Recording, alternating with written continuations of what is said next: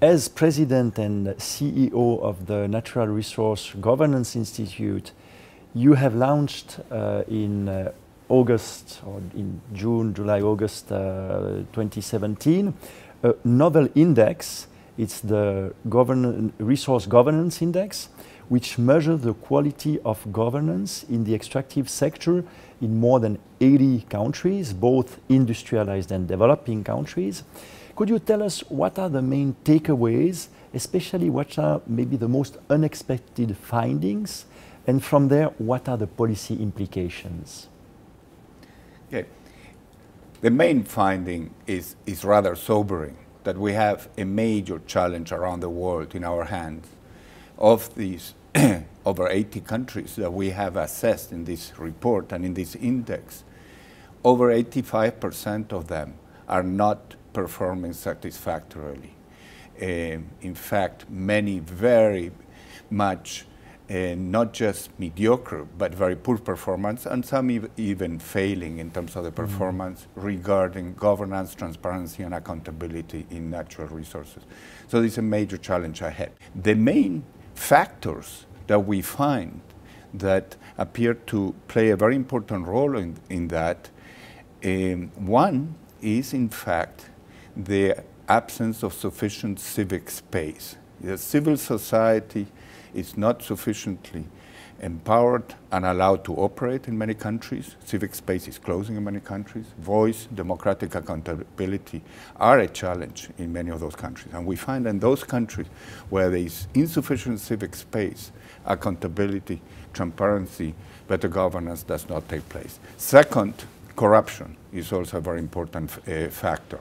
One of the key findings in the, of the index is that some countries, thanks to many initiatives, including EITI, the Extractive Industry Transparency Initiative, Publish What You Pay, and others, are adopting regulations, laws. But what's in the law and what's adopted doesn't necessarily get implemented. Mm.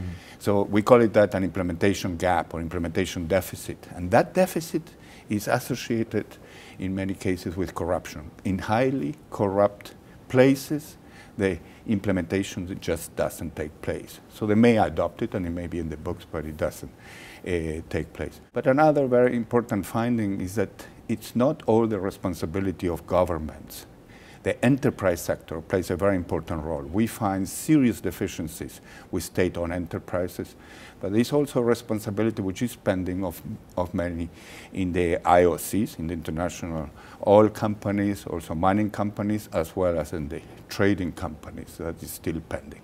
I have a, a further question. Since you have been actually pioneering work on trying to measure governance, institutions and corruption in the developing world for the past few decades. Uh, what are the top priorities today when you see the progresses or the lack of progresses uh, over the past few decades?